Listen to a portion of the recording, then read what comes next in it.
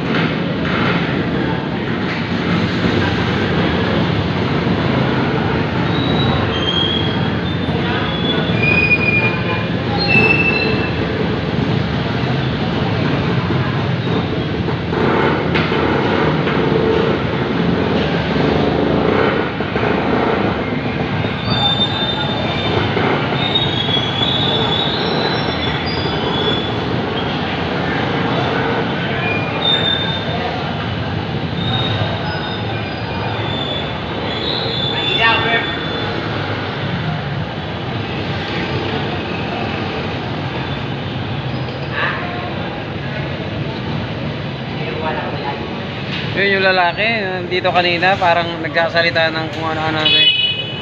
Ayun na, nagsasalita mag-isa. Ah,